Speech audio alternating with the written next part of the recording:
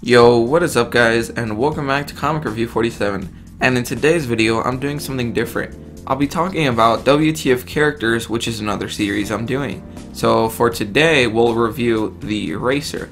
Now, the Eraser hasn't had too many appearances, so bear with me on this. The Eraser is one of Batman's D-list villains, meaning that he's pretty lame. He first appeared in Batman number 188 back in December of 1966. Now this guy's gimmick was that he would literally and figuratively erase all evidence. As this issue is one of his only appearances, I'll be going more in depth to the story that is unfolding in this issue. As Bruce Wayne and Dick Grayson are in a department store, they see a giant eraser sale. This reminds Bruce of a villain that he fought years back. Now, this is going to sound silly, but his origin is literally that he made so many mistakes with an eraser in class. Not only that, but he wasn't very popular in school, while Bruce Wayne was the Ice King, which pretty much meant that he was the prom king, and he was popular and everything. That's all that is explained in his origin story. Now I'm guessing that he got mad at society and wanted to pursue being a criminal because that's pretty much what happens in every comic book origin. Flash forward to the present, Batman and Robin try to investigate a case in which somebody stole from a bank and left absolutely no evidence behind. Batman couldn't even use his bat lens to find out. Now, one thing that's actually cool about this villain is that he could just do whatever he wants and no one will ever know that he did it, and the fact that he erased all of his evidence. But we'll find out why that doesn't even work later on.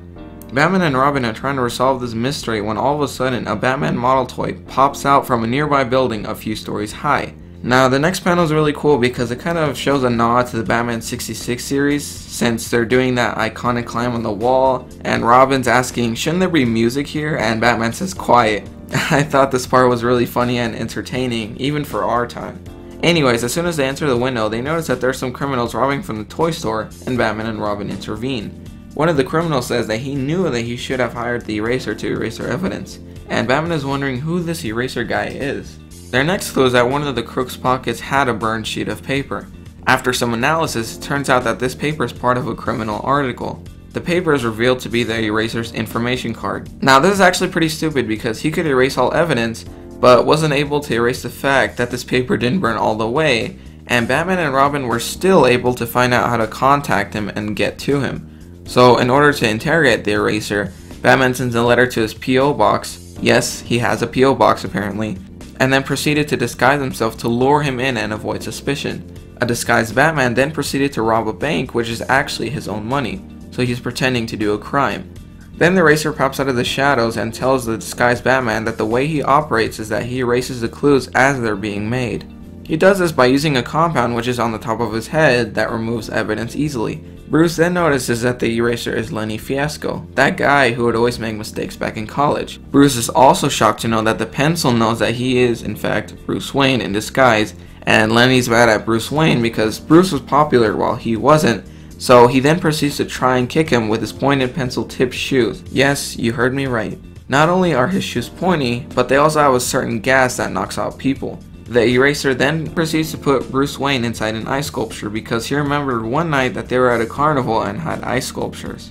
Bruce Wayne is able to escape because of some weird 60s science, so he then proceeds to switch his Batman costume on quickly, while Robin joined him as well. Robin was able to see where Bruce Wayne was because of a sonar radar signal that he had in his foot, and since the eraser erases all clues, it set off a silent alarm for whatever reason. Now, all Batman did to defeat the eraser was literally throw shards of ice from the ice sculptures and put nose filters to avoid his gas attack. He knocked out the eraser in one punch and sent him straight to jail. To finish this off, he actually gave Lenny a giant eraser in jail. Wow, I didn't know that Batman and Robin were such pricks. After this, the Eraser has only had three cameo appearances. He appeared in one panel in Ambush Bug Year None number 4, in which he's seen not being able to go through a metal detector due to his metal tip, which is actually pretty funny. His second appearance was also in one panel in Batman Whatever Happened to the Caped Crusader in 2009, and later in Batman RIP in one panel as well. Outside of the comics, he hasn't had too many appearances. He was shown once in an episode of Batman the Brave and the Bold, in which he's easily defeated.